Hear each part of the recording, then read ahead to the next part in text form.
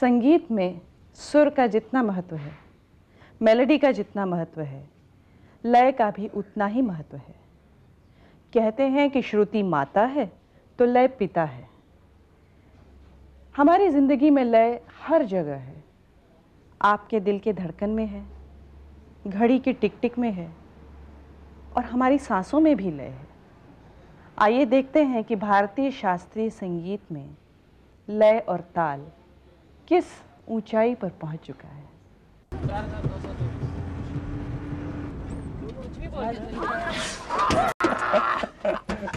रिको। आखिरकार पहुँच ही गए। वाह यार क्या जगह है? बिल्कुल। इतनी शांत है।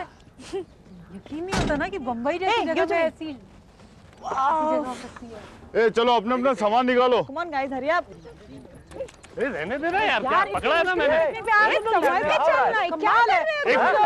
ओके ओके ओके अभी क्या करें खाएँ या खेलें खाते खाते ए नहीं नहीं नहीं नहीं मुझे तो गाने का मन कर रहा है यार नहीं नहीं नहीं देखो नहीं तुम नहीं अमृता गाएगी चलेगा पर तुम बिल्कुल नहीं क्यों हमारी पिकनिक का कबाड़ा कर रही हो तुम देखो मैं मैं मैं तुम्हारे हाथ पड़ता हूँ मैं पैर पड़ता हूँ तुम्हारे नहीं है, देखो। मेरी बात सुनो तुम जसबी तुम्हें मालूम है कि तुम्हारे संगीत के अलावा भी और संगीत होते हैं समझे इसलिए अपना टेस्ट बदलो अपना कान खोलो और उस संगीत पे भी ध्यान दिया करो देखो तो दे क्या हुआ अब? तुम लोगों को जो भी करना हो प्लीज़ शांति से ओके मुझे सोना है I want to sleep and please don't disturb me okay जहाँ चार फुट की जगह देखी वही सालों खाली हाँ? उठ, चल चल ए, उठ क्या हुआ तुमने भी वही सुना जो मैंने सुना। म्यूज़िक ना? हाँ। चलें। चलो ना।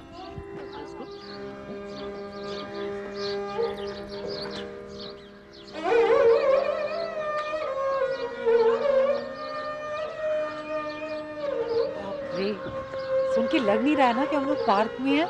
हाँ। कितना अच्छा लग रहा है ना?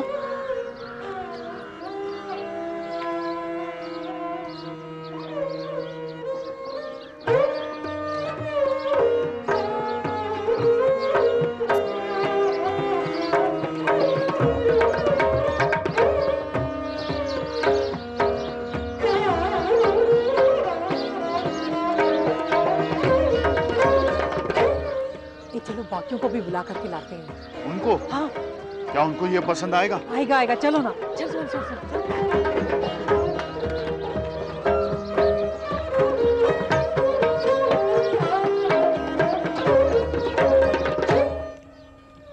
कि संगीत में जादू है। हाँ। लेकिन ये कौन लोग होंगे? मैं नहीं पहचान पाई। अगर मैं गलत नहीं हूँ ना तो एक वो सुल्तान खान साहब है।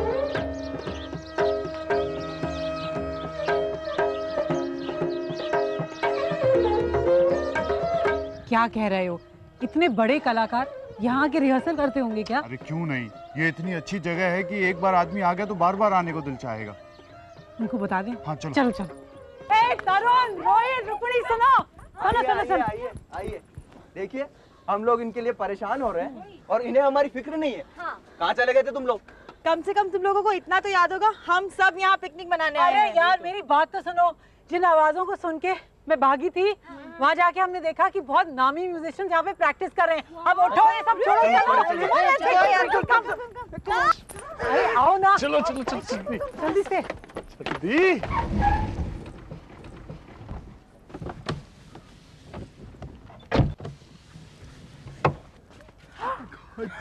अरे क्या हुआ संजय ब्रेक पाइप फट गई सर ये कैसे हो गया और यहाँ चल चल चल क्या चेक नहीं करवाया था क्या? हैं? आप लोग यहाँ भी पहुँच गए। हाँ? कैसे आना हुआ? क्या नाम है आपका बताइए। त्रिशला। त्रिशला? जी। पक्की बात। जी। ओके। सर आप यहाँ विश्वास नहीं हो रहा सर? ये जा रहा था जरा गाड़ी खराब हो गई। वेरी गुड अच्छा हुआ। सर आपको हमेशा टीवी पर या कॉन्सर्ट्स में देखा है इस तरह सामने। आई डोंट बिलीव इट गलती आपकी आपको पहले यहाँ पहुँचना चाहिए। हाँ? कई साल पहले आ जाना चाहिए। हमें तो ये दिन हमेशा याद रहेगा कि हम आपसे मुझे भी बिल्कुल याद रहेगा इसकी वजह से। सर इत्तेफाक की बात देखिए यहाँ पर कई म्यूजिशियंस आए हुए हैं जो शायद रिहर्सल कर रहे हैं सर कौन आया कुछ पता है। आपको ही- बताओ ना नाम तुमने। क्या नाम सर है? चलते हैं ना। आप खुद ही है? है? सुल्तान सुल्तान खान। संजय तुम ये ठीक करके मुझे बुला लेना मैं आया ओके?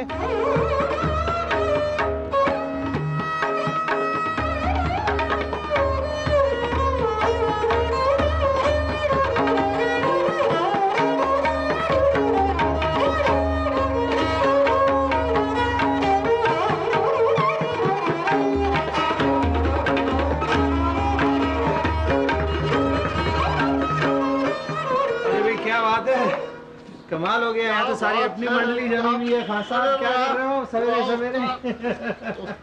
जाकिर हुसैन चले आ रहे क्या बात है कैसी? यहाँ कैसे? बस वो मेरी गाड़ी खराब हो गई थी और रास्ते में ये लोग मिल गए। मंडली इन्होंने बताया कि आप यहाँ बैठे क्या बात चलो मिलते क्या हैं। बात जीते रहो बेटा ऐसे गाड़ी रोज ही खराब हो। अच्छा मेरी गाड़ी आपको बुरी लग गई? नहीं, नहीं। ये बात अच्छी लगती है देखिए। अब बैठो बैठो यार। देखिए। और खान साहब यहाँ क्या कर रहे हो? बस बिल्कुल कभी कभी आ जाते हैं वो। अच्छा। ऐसे दोस्तों के साथ में कुछ होता है। आप अपनी मंडली के साथ आ गए हम हमारी मंडली के साथ मंडली का कम से कम परिचय तो करवाएँ इनका।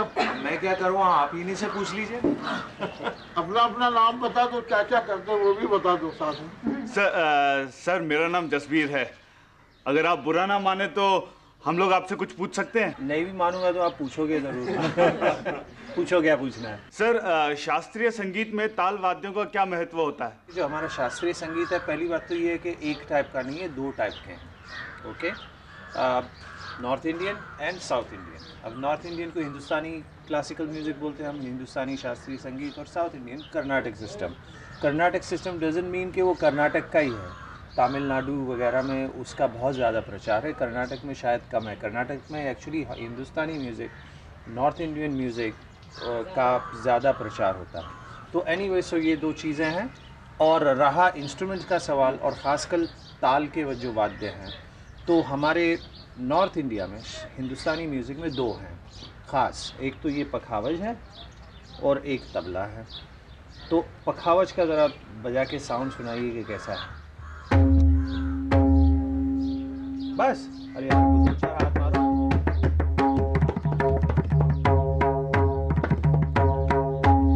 क्या बात है? अब आपने देखा होगा कि पखावज जो इंस्ट्रूमेंट है, काफ़ी मतलब very dignified male sounding instrument है। इस इंस्ट्रूमेंट का कनेक्शन हमारी मिथोलॉजी में जाता है लॉर्ड गणेश से, जो कि पखावज बजाया करते थे।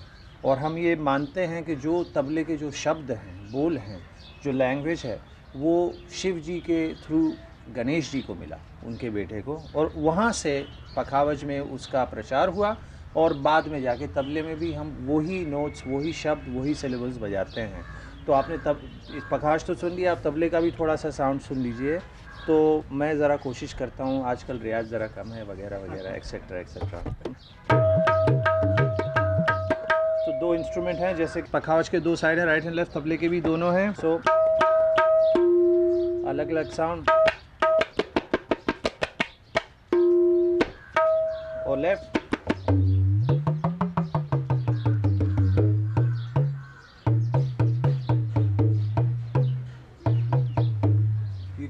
कैन बस दोनों को मिला के बजता ना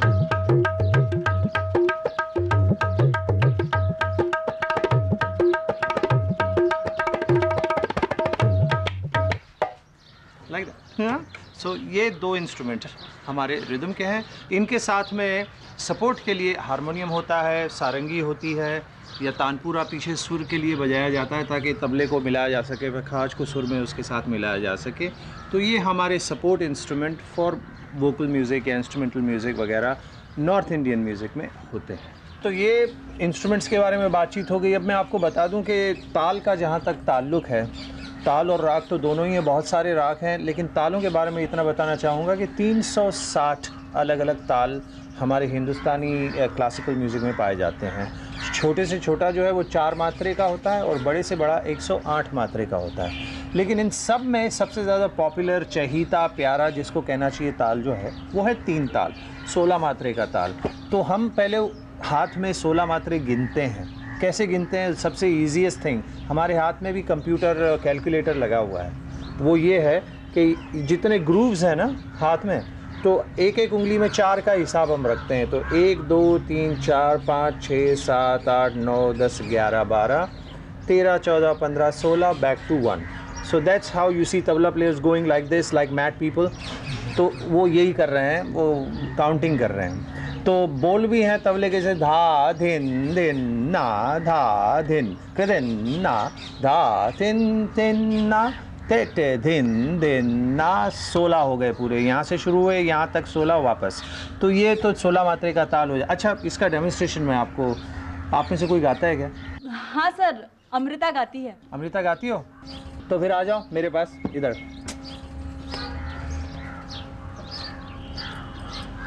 जीते रहो जीते रहो बैठो।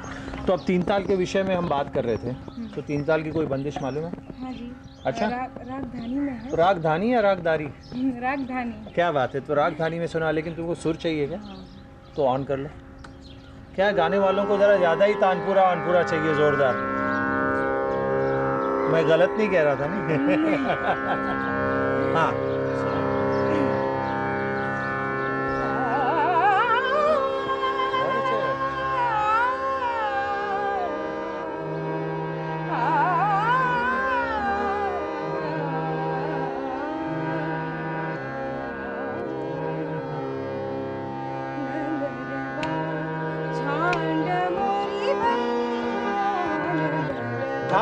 दिन दिन ना धा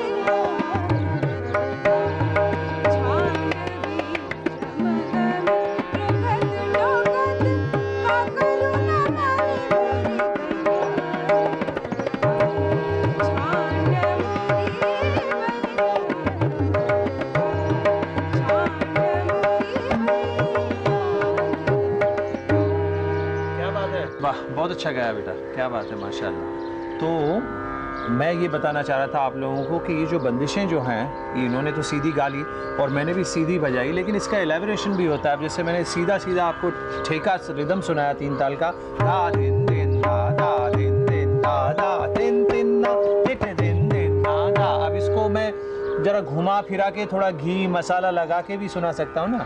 सो अब जैसे धा दिन दिन धा सो पहले सीधा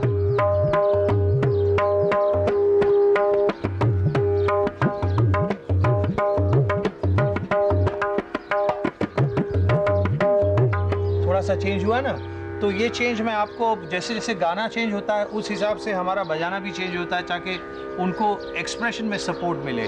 तो अब ये मज़ा मेरी थोड़ी सी और गाने बजाने के साथ सुन लीजिए, एक बार फिर मैडम हाँ?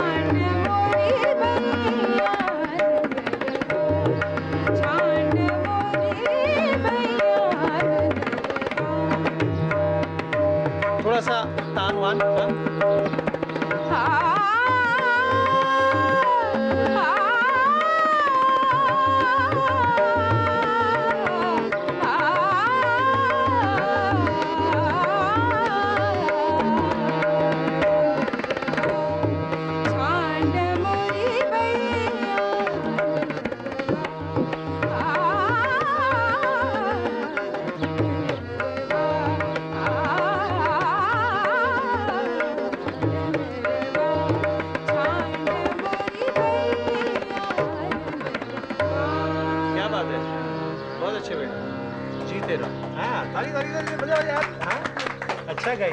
बहुत अच्छे गाया भाई क्या बात है माशाल्लाह जीते रहो। अच्छा गाई हाँ? लेडीज़ जेंटलमैन तो एनीवे anyway, आगे के बारे में मैं खान साहब से आपके लिए रिक्वेस्ट करूँगा कुछ बताने के लिए और वो ये कि अब ये जो आपने सुना थोड़ा सा खूबसूरत काम हुआ है तो ये खूबसूरत होता कैसे? इसमें सुंदरता आती कैसे है? वो सुंदरता तो मतलब दिल से पैदा होती है तभी जाके निकलेगी सुंदरता को फिक्स तो नहीं कर सकते हम। वो तो जैसा वातावरण होगा जैसे इन्वायरमेंट होगा जैसे एम्बियांस होगा उस हिसाब से दिल में कुछ उमंग उठेगी तो फिर वो आपके काम में पैदा होगी और वो खूबसूरती नज़र आएगी। तो उसको हम क्या कहते हैं? इम्प्रोवाइजिंग स्पॉन्टेनियस क्रिएटिविटी स्पॉन्टेनिटी मतलब उसी वक्त दिल में कुछ आया, सुर में निकला या ताल में बजा तो उसका जो एक वातावरण बना मतलब ब्लैंक पेज पे एक खूबसूरत सी राइटिंग आई या पेंटिंग बनी। तो अब उसका इम्प्रोवाइजिंग का जो तरीका है उसके लिए हाँ साहब आप कुछ विस्तार वगैरह इम्प्रोवाइजेशन के बारे में हमें बताइए कि और मुझे क्या बच्चों को हमें सबको तालीम हो कि ये कैसे होता है? इम्प्रोवाइज जो है एक बढ़त है। बढ़त। एक चीज़ को कितने अंदाज से बता सकते हैं? हाँ। जैसे कि एक चीज़ को एक सुर को हीरो बनाया है हाँ। उसको कैसे कैसे सजाना है? सुर को हीरो ज़ीरो से हीरो कैसे बनाया जाए? रे ग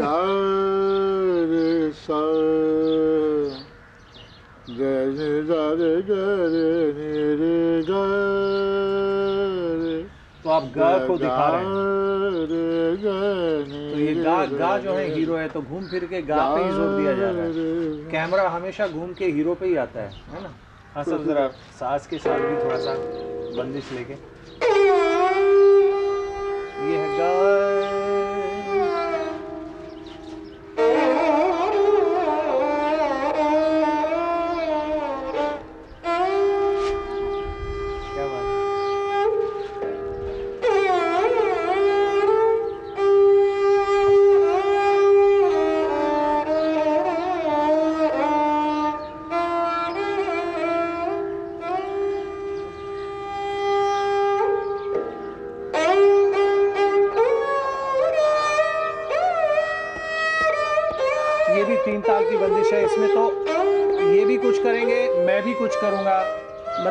में स्पॉन्टेनियसली क्रिएट किया जाएगा इम्प्रोवाइज होगा हाँ?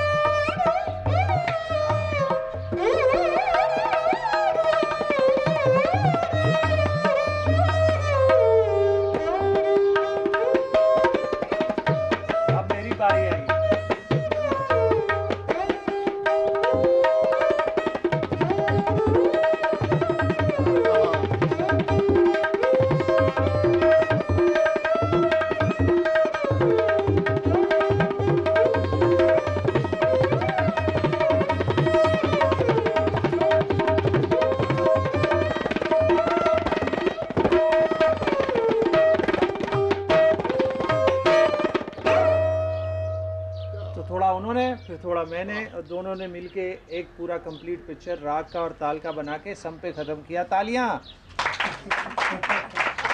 थैंक यू यार कभी कभी वाह वाह तालियाँ भी बजाया करिए। हम लोगों को मन में अच्छा लगता है तो कुछ और करने की इच्छा होती है। तो आप लोगों ने देखा कि खान साहब ने और मैंने मिलके एक बंदिश को बजाया, लेकिन हमने कोई रिहर्सल नहीं की थी। वहीं के वहीं उन्होंने बजाया और वहीं के वहीं मैंने भी उनका साथ दिया और थोड़ा बहुत मुझे भी बजाने का उन्होंने मौका दिया, थोड़ा वो भी बजाया। तो दोनों ने मिल के एक साथ एक कंप्लीट पिक्चर राग और ताल का बनाया और ये स्पॉन्टेनियसली होता है और यही हमारे संगीत की, शास्त्रीय संगीत की विशेषता है कि ये हमेशा नया होता है। हमेशा दो लोग मिलते हैं आपस में, कभी एक दूसरे से मिले ना हो, लेकिन मिल के संगीत में ऐसा लगता है जैसे एक ही हैं और उसी वक्त क्रिएट होता है, उसी वक्त बनता है और वैसा फिर कभी नहीं बनेगा। हमेशा नया होगा। तो ये ख़ास बात है। और एक दूसरी बात भी मैं आपको बताऊँ स्ट्रेंजर्स मिलते हैं आपस में बात करते हैं पे याद आया कि हमारे न, आजकल हिंदुस्तानी क्लासिकल म्यूज़िक में एक ख़ास चीज़ चली है सवाल जवाब। हाँ? नॉर्मली होता है सवाल सवाल मतलब इंस्ट्रूमेंटलिस्ट सवाल करता है तो उसी को तबला प्लेयर भी बजाता है तो उसी सवाल को वापस रिपीट कर देता है तो सवाल सवाल हो जाता है लेकिन हम सवाल जवाब बोलते हैं। तो वो ये है कि कभी कभी आपस में बजाते बजाते एक तरह का कंपटीशन समझो हेल्दी कंपटीशन होता है। उसमें हम एक दूसरे से मिले नहीं हैं, लेकिन बैठ के आपस में वार्तालाप करते हैं। धृदृगता भाई कैसे हो? बोले कहता कि दिन ठीक ठाक चल रहा है। बोले, नगदे तेटे गेन तरान था कहाँ कहाँ गए थे, कहाँ घूम के आए? बोले जस्ते टेक आता कहीं इधर कभी उधर गया था। बोले धृदृगता ठीक है, बोले, बैठो और और बजाओ या कुछ करो। तो ऐसा सवाल जवाब जो होता है वो हमेशा उस तब मज़ा आता है जब किसी ऐसे आदमी के साथ हो जिसको कभी देखा ना हो कभी मिले ना हो। तो सवाल जवाब के लिए मैं सोचता हूँ आप में से ही किसी को लिया जाए क्योंकि आपको लगे कि किसी ऐसे आदमी के साथ बैठ के जिसको कभी देखा नहीं या लेडी के साथ हम कैसे आपस में वार्तालाप करते हैं सवाल जवाब करते हैं। कोई? माइका लाल। जी हम में से अश्विन बांसुरी बजाना जानता है। बांसुरी बजाते हो? फ्लूट वेणु? जी। आओ बैठो हमारे पास। देखते हैं क्या होता है। बैठो। जीते रहो बाबू। सवाल जवाब के बारे में मैं आपसे बातचीत करना चाहूँगा, क्योंकि अब ये नए नए आए हैं तो मैं इनसे पूछूँगा, भैया, कैसे हो? तो ये वो जवाब देंगे कि, भाई, जो भी है तो मैं बोलूँगा, फिर कहाँ कहाँ घूमे थे आज? फिर मुझे इसका ये जवाब देंगे। तो ये सवाल जवाब संगीत के बारे में जो हम आपस में वार्तालाप करते हैं तो उससे मिल के खूबसूरती इम्प्रोवाइजिंग ये सब बन के पूरा एक परफॉर्मेंस बनता है। तो भाई, क्या इरादा? बुझा? चलो, देखें।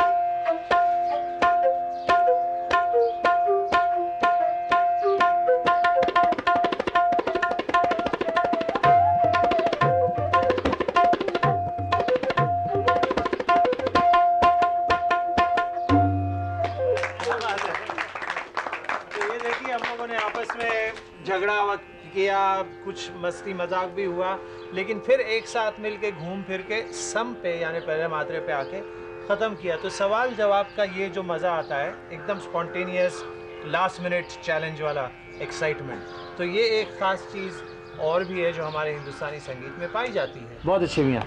बैठो। जीते रहो। गॉड ब्लेस तो अब आइए हम चलते हैं कर्नाटक म्यूज़िक की तरफ़। थोड़ा साउथ इंडिया की भी सैर कराते हैं। तो साउथ इंडिया में कृतीज, पल्लवीज, ये सब चीज़ें होती हैं, राग और ताल वहाँ भी उसी तरह से पाए जाते हैं, जैसे हमारे नॉर्थ में पाए जाते हैं। और लेकिन वहाँ जो ताल के इंस्ट्रूमेंट्स हैं वो अलग हैं। अब जैसे कि मृदंगम।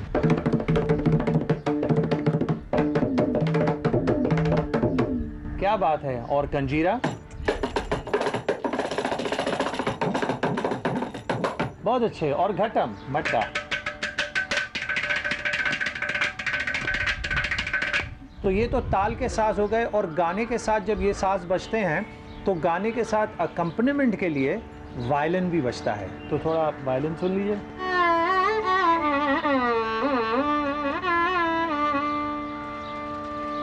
वाह, क्या बात है, बहुत अच्छे।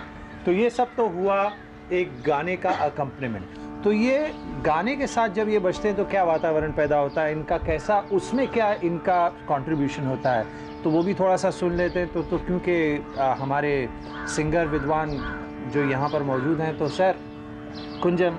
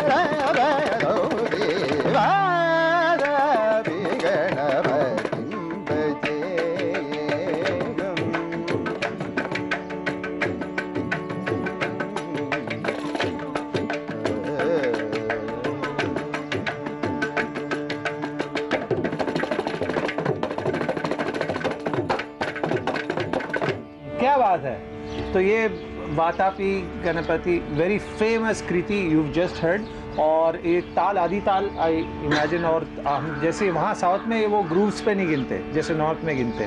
वो हाथ पे एक, दो, तीन, चार, पाँच, छः, सात, आठ, एक। तो ये तो आपने सुना कि गाने के साथ में इंस्ट्रूमेंट्स और ताल के इंस्ट्रूमेंट्स और वायलिन का कैसे मिलन होता है और वो कैसे उनको अकम्पनी करते हैं। और जैसे आपने देखा कि मैं जब खान साहब के साथ बजा रहा था तो थोड़ा वो बजा रहे थे, थोड़ा मैं बजा रहा था तो उनका भी सोलो चल रहा था, मेरा भी बज रहा था तो साथ में मतलब अलग अलग इम्प्रोवाइज़ कर रहे थे, लेकिन साथ में पैरल साउथ इंडियन म्यूज़िक में ऐसा नहीं है। साउथ इंडियन म्यूज़िक में जो दो ताल के जो इंस्ट्रूमेंट्स हैं, वो रिदम वगैरह साथ में बजाते हैं। लेकिन एंड में जाके उनका अपना अलग एक सोलो पोर्शन आता है जिसमें रिदम प्लेयर्स मिल के एक पीस पेश करते हैं उसको तनी आवर्तम बोलते हैं तनी आवर्तनम। तो वो तनी आवर्तनम को अगर थोड़ा सा demonstration sir if you don't mind little will be nice okay cherry हाँ विच तालम टेंपो 8, 1, 2, 3, 4, 5, 6, 7, 9, 1.